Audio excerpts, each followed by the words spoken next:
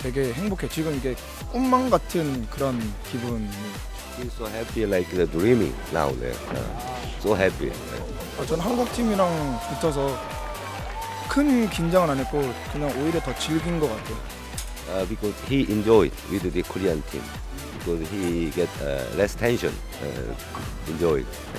저는 내년에 뭐 아시안 게임 세계적으로 열린 아시안 게임이나 아니면은 청소년 대표에서 월드 챔피언십 그 그런 게임에다가 Here, his target is the Asian Game gold medalist next year or World Youth Championship with uh, this girl.